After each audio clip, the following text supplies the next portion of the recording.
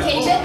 I'd like to take this opportunity to wish all of you a happy Chinese New Year, a fruitful, beautiful, bountiful New Year. 喜气洋洋的日子，我们一起聚集在这里，为了庆祝的就是毕威利培训与研究中心正式开幕仪式。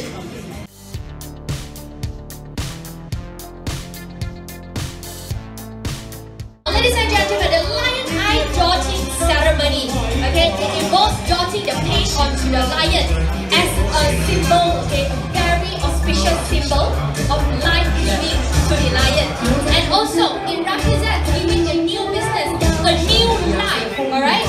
And giving a golden touch to the business will represent lots of fortune, money rolling in, alright? 祝福这个点睛仪式，虎虎生恩，事业兴旺，吉祥如意。